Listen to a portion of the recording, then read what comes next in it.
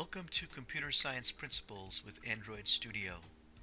This is a supplement to the existing Mobile Computer Science Principles course, which is based on the programming language App Inventor 2.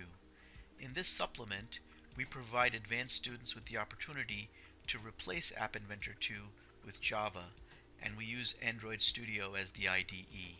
Students do all the same projects that they do in Mobile CSP, but instead use the full-blown Android SDK platform for their development.